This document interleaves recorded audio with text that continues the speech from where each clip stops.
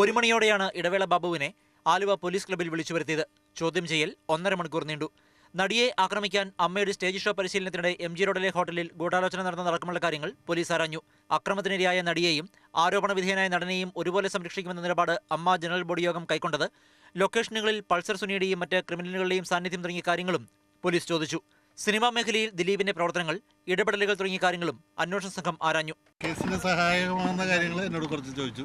അതൊക്കെ പറഞ്ഞു കൊടുത്തിട്ടുണ്ട്. അതിനിടെ ഹൈക്കോടതി ഇന്നലെ മുൻകൂർ ജാമ്യാപേക്ഷ തള്ളിയെങ്കിലും ചോദ്യം ചെയ്യലിന് ഹാജരാകാൻ അന്വേഷണ സംഘം നോട്ടീസ് നൽകാത്ത സാഹചര്യത്തിൽ ഉടൻ ഹാജരാകില്ലെന്ന് ദിലീപിന്റെ മാനേജർ അപ്പുണ്ണിയുടെ അഭിഭാഷകൻ അറിയിച്ചു.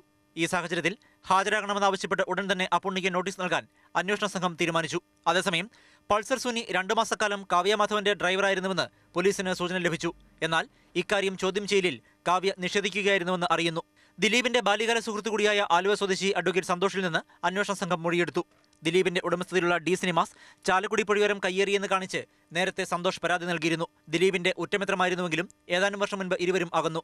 ദിലീപിന്റെ ബന്ധങ്ങൾ ഇടപാടുകൾ സ്വഭാവ സവിശേഷതകൾ തുടങ്ങിയ കാര്യങ്ങൾ സന്തോഷിൽ നിന്ന് അന്വേഷണ സംഘം ചോദിച്ചറിഞ്ഞു.